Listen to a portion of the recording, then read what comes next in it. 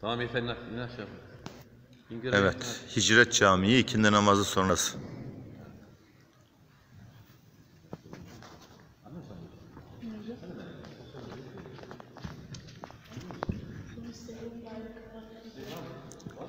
Yeni nesil bilir.